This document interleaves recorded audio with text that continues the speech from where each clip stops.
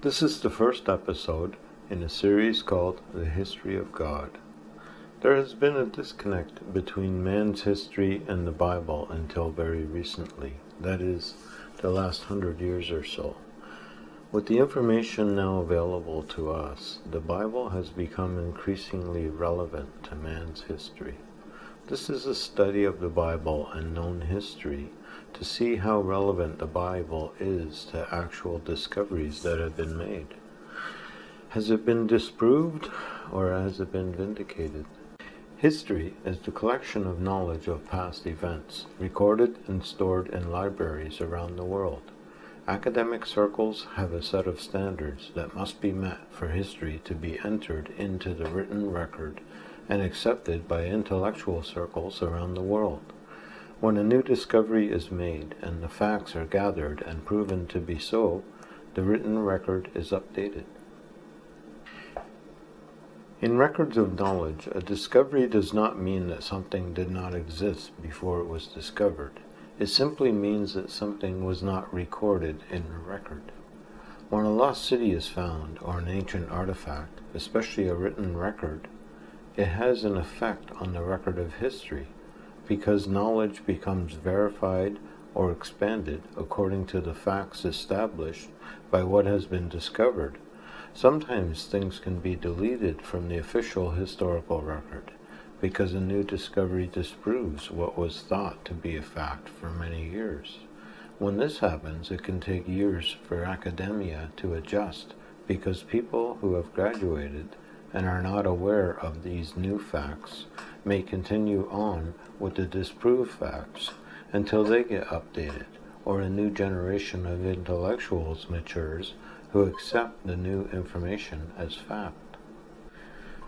Encyclopedias must be updated, and people using encyclopedias must use the updated versions.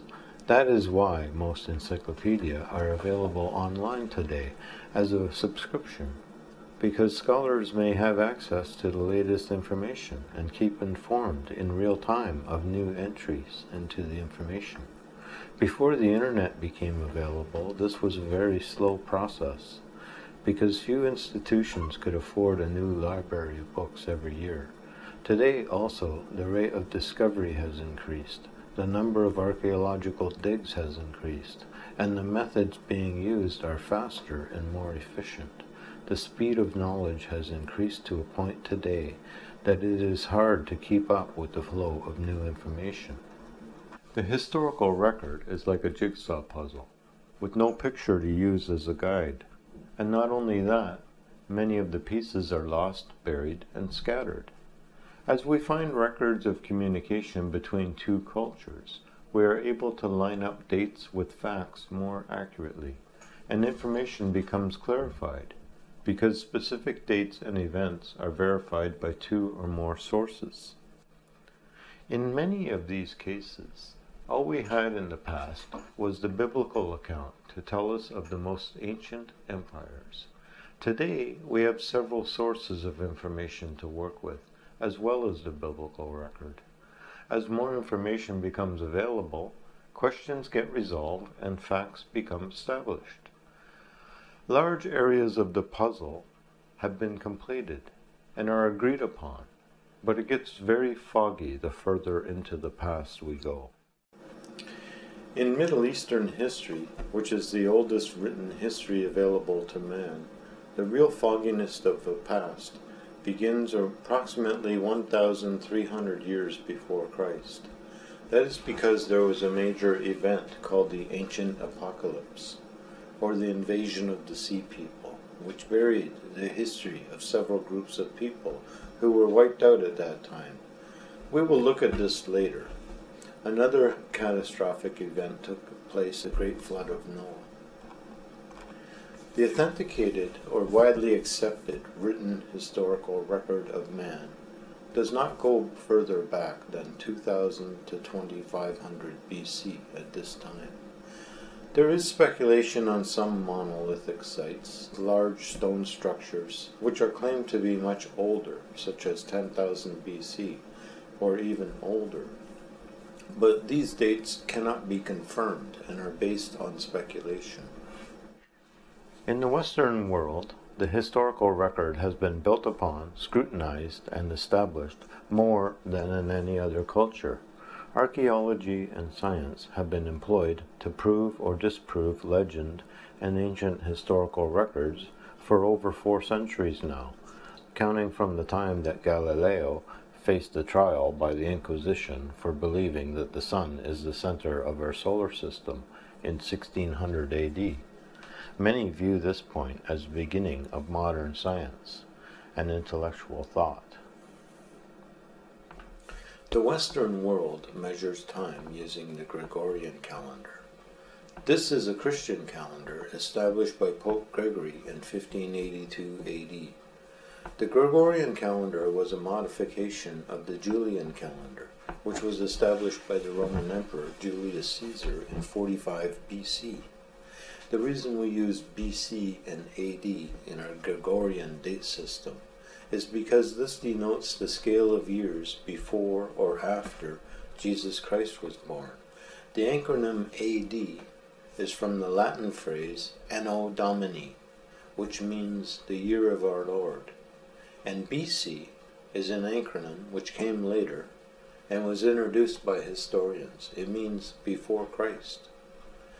Thus, the years BC count backward how many years before Christ was born, and AD counts forward from how many years since Christ was born.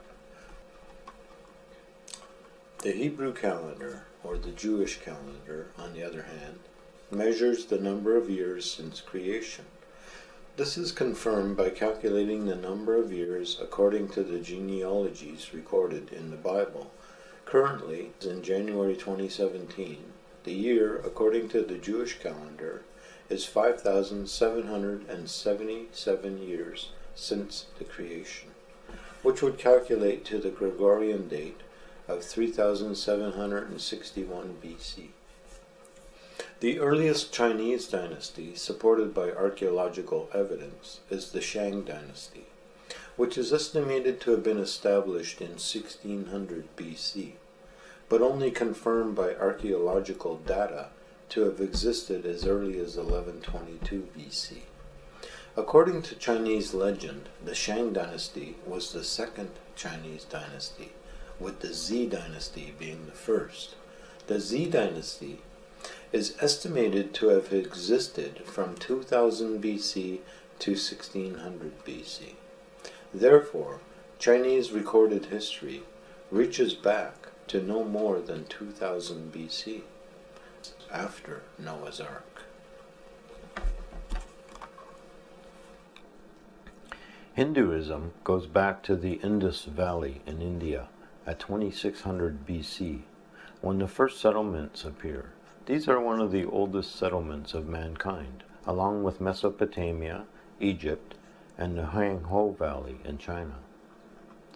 Hinduism has no founder or date of founding.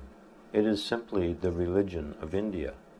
Hinduism is rich in mythology and it is polytheistic. Buddhism is much younger, first appearing at around 550 BC. Over the past 150 years, the historical record has been overturned. Only 400 years ago, Galileo faces charges liable of death for writing that the earth is not the center of the universe. Only 500 years ago, the scientific record was updated that the earth is round like a ball and not flat like a pizza. With the end of the Dark Ages, a time where knowledge by the common people was suppressed or forbidden, to the dawn of the intellectual revolution, bringing us modern astronomy and biology and all types of modern science. The historical record has been updated with every discovery made, and knowledge has grown. The intellectual revolution was not right about everything, however, not from the start. With the scientific revolution and the dawn of humanism and Darwinism, Many of the empires and cities described in the Holy Bible were considered mythical legends and fairy tales by non Christians, and even by some Christians, until the Middle East was opened up to archaeology in the mid 19th century. To the world's amazement, great lost cities of the Bible were discovered buried in the sand. Nineveh, Babylon, Ur, and other great figures of the biblical record were added into the historical record of fact. Sennacherib, Ashurbanipal, Hezekiah, Pontius Pilate, and many others. Indeed, there has been a revolution in biblical thought as well as in secular thought. Biblical scholars understand these ancient empires better than ever before, and as a result understand the Bible better. As we continue to move forward in our search for truth and fact, and as new discoveries are made, old ideas fall down and new ideas emerge, maturing us all into a greater understanding of this world we live in. Our study begins in the ancient Near East, where the oldest written records of man are found. We will be looking at three basic threads of opinion, or three worldviews, regarding these records. This will give us a good overview of the evidence available, the opinions out there, and why those opinions exist. These are often opposing opinions, but we wish to know the truth, and in order to determine the truth, we must gather all of the facts and review them before we can make an objective determination. The first of these three opinions we will be looking at is the biblical opinion, not the opinions of people who read the Bible, and there are many, which are often very subjective, but the opinions of the Bible itself. The other two worldviews we will discuss are both opinions of men. The mainstream archaeological opinion of scholars and academics who currently hold the official historical record, and an alternative interpretation of the evidence by a large and growing group of followers of a man named Zecharia Sitchin, who wrote a series of books called the Earth Chronicles. This is also called the Ancient Alien View. It is in comparing these three opinions, the biblical opinion, the ancient alien opinion, and the mainstream opinion, that we come to a greater understanding of what we know about the ancient world, and more importantly, what we don't know. When studying secular history and biblical history, we are faced with two opposing opinions creation versus evolution. When we open the first book of the Bible and read the first sentence, In the beginning, God created the heavens and the earth, we are immediately confronted with a controversial subject creation versus evolution. Was the world created by an intelligent divine being, or did it just happen as a fact of natural occurrence? Indeed, during the Dark Age of Europe, under the authority of medieval popes and kings, anything but the idea of a divine creator as the sole author of the universe was illegal and punishable by torture or even death. But the authority of the Church was challenged in Europe, since Martin Luther posted his 95 Theses on the door of the Wittenberg Chapel, claiming that grace is achieved by faith and not penance. He wanted to reform the church, but was met with too much opposition and was excommunicated by the church. He had no choice but to organize an opposing church in Germany, the Lutheran Church. This gave rise to many succeeding Christian churches, all having an updated version of the truth. This is known as the Great Reformation within the Christian Church. It eventually did reform the Vatican itself by the proclamation of Vatican II. In an attempt to maintain relevancy among a Bible reading populace, with many modernizations but without letting go of past ideas. With the fall of the Holy Roman Empire in Europe, and along with it the fall of the political authority of the popes, there was a double edged sword. Freedom of thought and freedom of conscience, urged on by the great Protestant Reformation in Christianity, brought along with it the dawn of rationalism and humanism. These were not new ideas, but they were formerly suppressed and only discussed illegally in secret. As the authority of the Church over the thoughts and ideas of men was overthrown, these ideas were allowed to flourish along with Protestant Christianity. The idea of a divine creator became to many a symbol of oppressive regimes and unrighteous control over the population, a source of strife and war, as even many today still attest to. These new areas of thought in humanism and rationalism gave rise to a new science called Darwinism. There is currently another revolution underway in the scientific world, just as the invention of the telescope allowed Galileo to gaze at the stars and question the status quo of his time. So today, the invention of the electron microscope allows modern scientists to gaze at the smallest of things, which have never been seen by man before, raising many questions about our own modern status quo. Did you know that a single cell contains the complexity and functionality of any of our greatest cities? It is as complex and functional as any of our greatest factories, all within a tiny microscopic cell there are as many moving and sophisticated systems working together as there are in a space shuttle.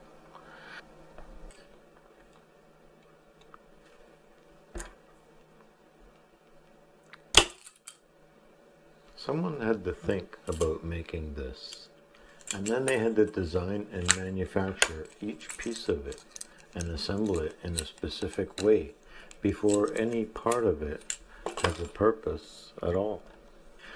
The platform, the spring, the hammer, the catch, and the hold down bar are the five basic components of this mousetrap.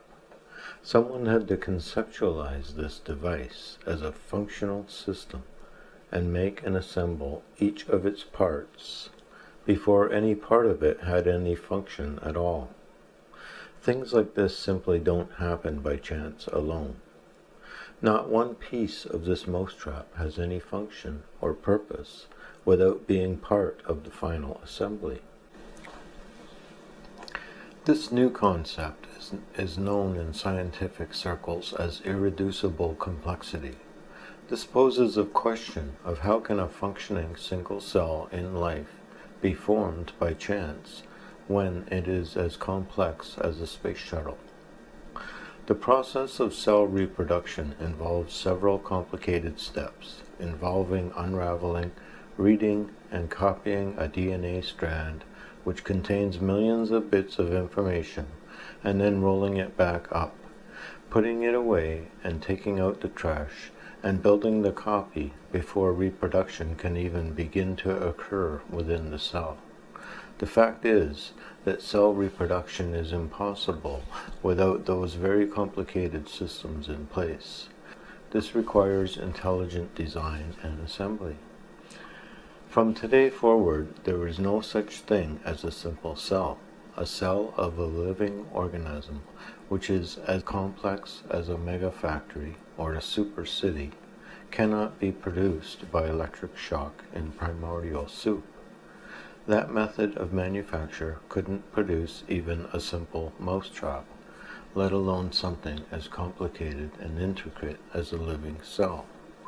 New ideas in scientific circles, such as intelligent design and irreducible complexity, are coming out only in the last decade because of the electron microscope and DNA science, bringing us back once again to questions of origins. I'm not going to attempt to solve these questions today. This is not the intent of this study. I am merely pointing out here that there came to be two different circles of intellect that we must address when we study history and the Bible evolutionist and creationist. To an evolutionist, the world is billions of years old. To a creationist, it is only 6,000 years old. According to the biblical records, the recorded history of man is only 5,000 years old. We will have to address these two opposing schools of thought in order to piece together our puzzle as we find the pieces to it. As we get to later history and leave behind the question of origins, the creationist evolutionist arguments become less of a factor because we will be entering into known factual history with the beginning of the first empires. When looking at the Bible record, we will mostly be interested in God's view of the Bible. For example, some people will try to reconcile the seven days of creation with evolution theory by interpreting the seven days of creation as seven ages leading up to the creation of man over an evolutionary scale, thus giving us a creation theory of billions of years. This is not God's view of the Bible.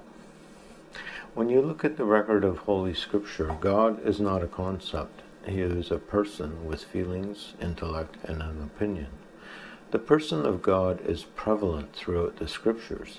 In the interest of understanding the intent of the Scripture, this is the exact person we are interested in getting to know. The director of all things, the commander of the universe. God gave his commandments to ancient Israel through Moses, and in those commands he states that they must keep the seventh day Sabbath, because God created the world in six days, and on the seventh day he rested. Without questioning God's point of view on the subject, this cannot be interpreted in any other way than seven literal days. This is only one example of many concerning the literal interpretation of the Scriptures. There are many interpretations of the Scripture out there, and in order not to get bogged down in them, we will generally concentrate our focus on the literal interpretation represented by the person of God Himself in the Bible. This was the view of the ancient world, and if we wish to understand the ancient world, this is the view we want to understand. The book of Genesis, the first book in the Bible, reaches back historically further than the human historical written record, while the historical record is what was written down by man and found in archaeology, the dawn of civilization in the same area, the Middle East, begins approximately 1500 years later. While modern scientists and archaeologists work on the presumption that the Bible is a myth, that evolution is more true, in fairness to the Scripture and to the God of Scripture, I will work on the assumption that the Bible is true when looking at the biblical record, and when presenting historical and archaeological evidence, I will present the arguments and theories proposed by the experts with an evolutionist view, in an unbiased attempt to present a broad analysis of history. Historians and archaeologists make assumptions about the earliest times based on facts that they know about later times, and this is an acceptable practice. Just as historians use what they know to be fact from later times to make assumptions about earlier times, people of faith also use what they know from later times to make assumptions about more ancient times. When they know that God is real, and from their own experience, and from facts established by later ancient history, then they must assume that the earliest parts of the Genesis must also be true. These earliest legends of the creation and the flood were fully supported by Jesus Christ, the author and finisher of the Christian faith. We cannot reject the book of Genesis without rejecting large sections of the entire Bible and Jesus Christ himself. There was a real creation in seven days, and there was a real flood and Noah's ark. This is simply based on believing God to be true. And later prophets, who are proven to be true, have attested that the book of Genesis is also true. The book of Genesis also tells us of Abraham, Isaac, and Jacob. It tells us of Joseph in Egypt and God's promise to Israel. These also are inseparable from the creation and flood because they are in the same book. Creationists generally divide the ancient history into pre flood and post flood times. We must deal with the fact that there are two basic timelines and we are dealing with in our study the fixed one presented by the Bible and the evolutionist, which today is billions of years. For the galaxies and one or two hundred thousand years for mankind. The first nine chapters of Genesis relate to us the story of the creation of the world, the fall of man, and the great flood of Noah. For a biblical scholar, this creates a marker in the historical record between pre flood and post flood times. It is also noteworthy that nearly every indigenous culture on earth carries a legend of a great flood. Although these legends may differ in detail, and the fact that the whole earth did experience a flood is a matter of cultural record. Through word of mouth, these legends can change dramatically, and that easily explains differences, while the general notion of a worldwide flood remains at the core of all of them. There are very few, if any, witness accounts of the flood which are, are recorded in writing. The noteworthy thing about the Hebrew records, the Old Testament, this written record has been religiously copied letter by letter for many generations with the specific intent that it not be altered. There is disagreement among scholars as to the age of these books, but the fact has been established by the discovery of the Dead Sea Scrolls that this record remains unaltered since 100 BC, at a minimum, and that after a long history of religious protection of the scrolls of record. It is an attestation to the legends of all cultures of man that the oldest and most protected rec written record actually records a flood legend. According to Jewish legend, the account of Genesis was dictated to Moses at approximately 1400 BC by God or an angel as a record of history for the people of Israel. The Sumerian history also is taken mostly from later documents that speak of earlier times. There are some artifacts that back up the history, but the detail of earlier history is also based on the historians of later generations who wrote in legend. We are looking through a foggy glass when we look this far back into history. And we must be careful to check sources when people tell us that there is hard evidence from the earliest times. There is not. We are looking at the history told to us by the earliest historians, and we are comparing legends to legends. It is foggy at best, but it does give us enough factual evidence to make some very general determinations and assumptions. As we move along in history, the closer we get to the present, the more established facts we have at our disposal. In our next episode, we will begin with a brief overview of the pre flood times from a biblical perspective, then the Earth Chronicles perspective, or the Ancient Aliens perspective, and finally from the mainstream scientific perspective. That will start us on our amazing journey through history. In the next episode, I will discuss the biblical worldview of pre flood times and origins of ancient deities. See you soon.